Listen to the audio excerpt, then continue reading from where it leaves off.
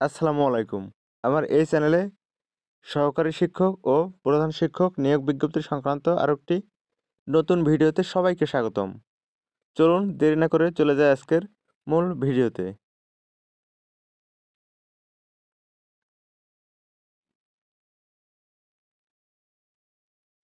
পায়রা বন্দর কর্তৃপক্ষ নিয়োগ বিজ্ঞপ্তি।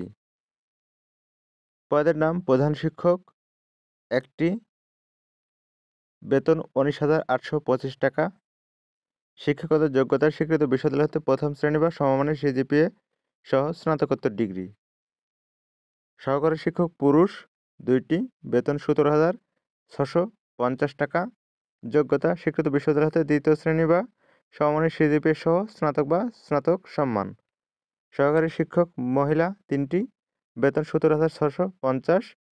যোগ্যতা স্বীকৃত বিশ্ববিদ্যালয় হতে দ্বিতীয় শ্রেণি বা সমান সিজিপি সহ স্নাতক বা স্নাতক সম্মান।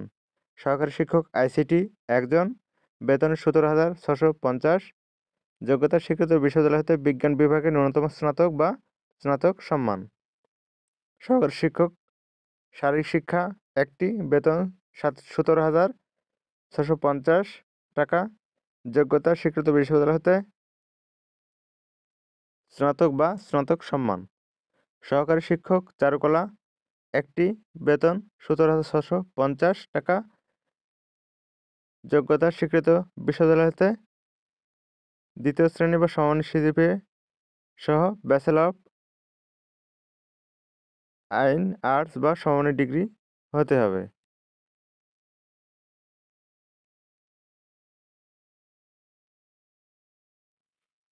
এখানে উল্লেখ্য যে, উক্ত পদগুলোর জন্য আবেদনের সময়সীমা নির্ধারিত হয়েছে ছাব্বিশ জানুয়ারি দু তারিখ পর্যন্ত।